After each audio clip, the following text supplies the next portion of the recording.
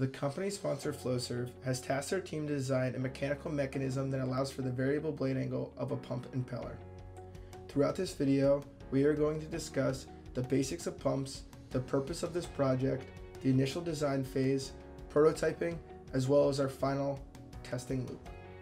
A traditional impeller is a cast metal component within a centrifugal pump unit used to suck fluid through its eye slash the front side and discharge it out the rear as it spins. The purpose of this project is that Flowserve does not yet have a practical mechanism for varying blade angle. Changing the blade angle affects fluid velocity and in turn other parameters. The customer might want to use the same pump and loop and having this ability would save our customers time and money. To begin the design phase of this project, we started out with many different prototypes and components to create one final assembly. The internal shaft, shown here, moves back and forth in a linear way that is controlled by a linear actuator. This linear motion is then translated into rotational motion that will therefore change the blade angle on the actual impeller.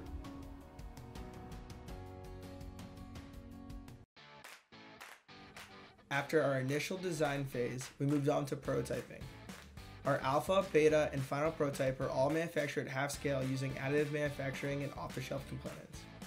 We selected this manufacturing method due to the complex geometries of the impeller and the quick manufacturing time of additive manufacturing.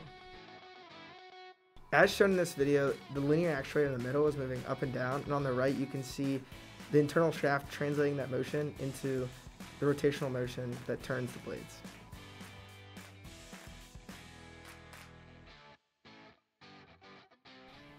Our remote control uses a linear actuator, an Arduino Mega, and a relay module.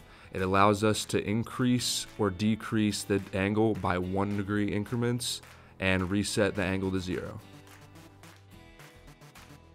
By using beads slightly more dense than water, as the impeller rotates, it creates suction, pulling the beads up through to the top of the tub to demonstrate fluid flow.